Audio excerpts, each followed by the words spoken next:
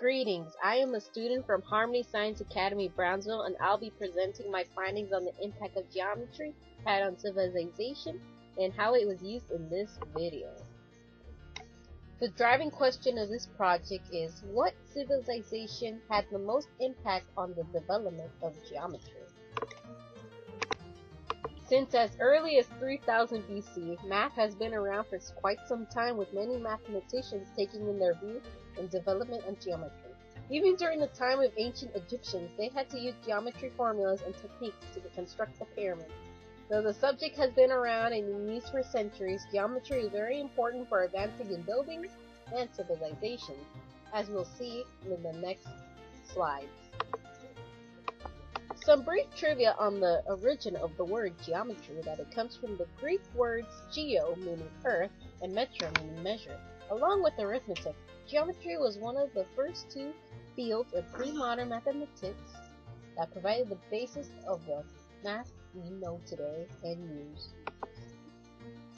As said previously, geometry had its roots in ancient Egypt and Babylonia, even having traces to the early people who discovered obtuse angles in the Indus Valley. Back then, geometric theory consisted of lengths, areas, triangles, and lines. Today's mathematicians wouldn't have been able to understand without the use of modern-day calculus. Geometry can be traced back to the time of the ancient Egyptians during the construction of pyramids, measuring the sides and was used to, to survey the Nile bank each year.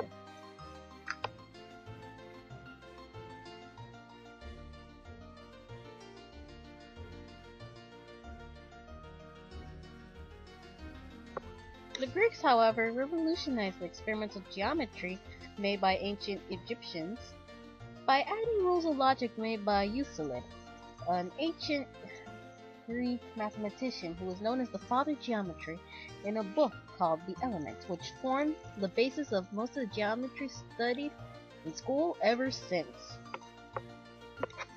Euclid's The Elements is a collection of earlier knowledge of geometry. Its superiority over earlier treatments is rapidly recognized, with the result that there was little interest in preserving the earlier theories, and now they are nearly all lost. He arranged the elements with 465 propositions in about 13 books.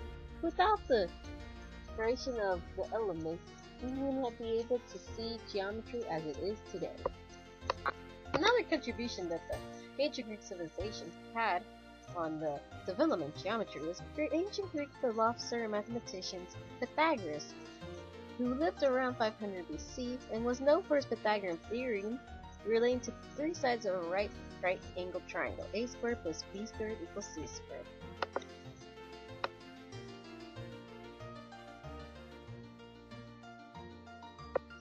Another great mind who contributed to the development of geometry was Archimedes of Syracuse, who lived around the year 250 BC and played a large role in the history of geometry, including a method for determining the volume of objects with irregular shapes.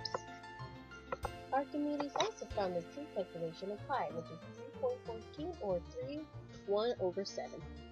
He found out that pi was used to find the circumference and area of a circle.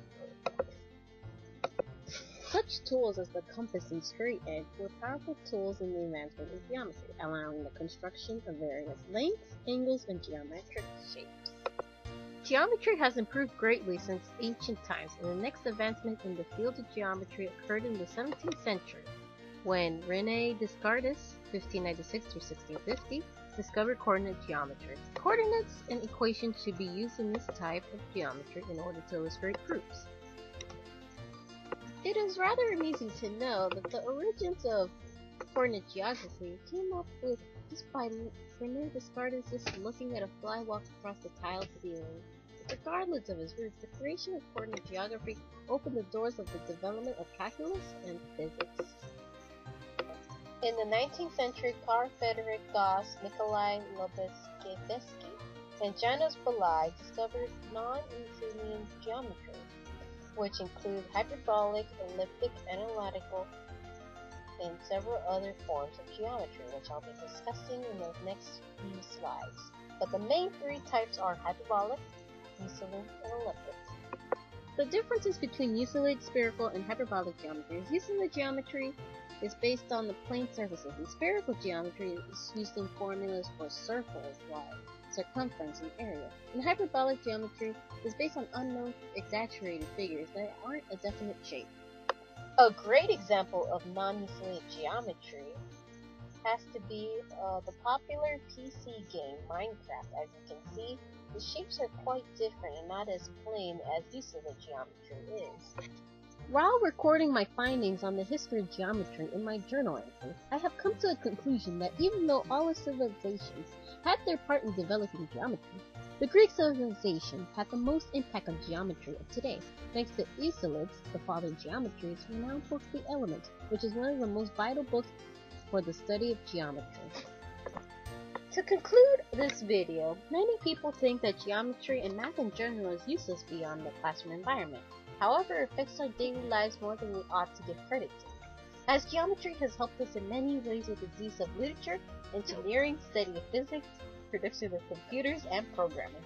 Since ancient times to modern day, geometry has been very useful and I could imagine my life without it. Thank you for watching Harmony Schools.